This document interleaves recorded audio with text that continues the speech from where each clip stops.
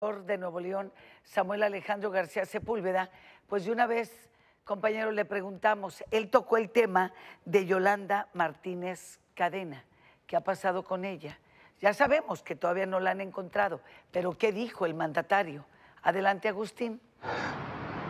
Efectivamente, licenciada, el, gobernador Samuel García se pronunció en torno al caso de Yolanda Martínez, quien desapareció el 31 de marzo, es decir, hacía 35 días, 35 eh, días que desapareció esta joven de 26 años de edad. Fue vista por última vez en la colonia Constituyentes de Querétaro, en San Nicolás. El gobernador señaló lo que entre los corrillos policíacos, entre el ámbito donde nos desenvolvemos, pues había escuchado también en forma extraoficial que presuntamente ella era objeto pues de malos tratos por parte de algunos familiares que vivía aparentemente en medio de un ambiente, pudiéramos decir, hostil y que ella de alguna forma pues se sintió también eh, molestada por esa situación. Pero ¿qué le parece si mejor escuchamos a Samuel García, el gobernador de Nuevo León, en torno a este punto?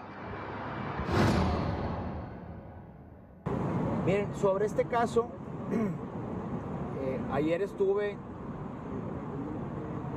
y hemos estado con la familia de Yolanda y con la familia de Débora. A las seis y media que recibía el papá de Yolanda,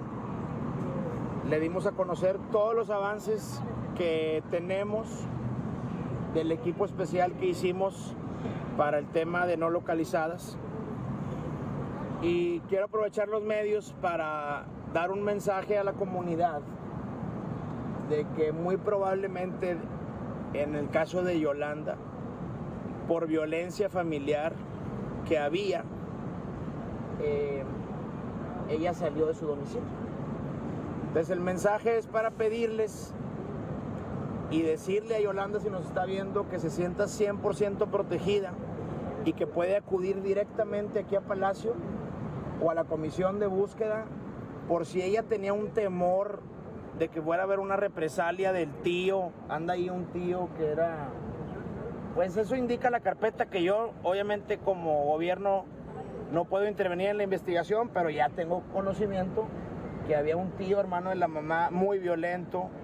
que inclusive tomaba y se metía a la habitación. No quiero dar detalles de más, ustedes imagínense lo que pasaba ahí. Entonces el papá eh, sabe que estamos echando todo el sistema a buscar a Yolanda y ojalá que pronto Yolanda la encontremos, le vamos a dar la protección, las medidas cautelares para separarlos de sus familiares.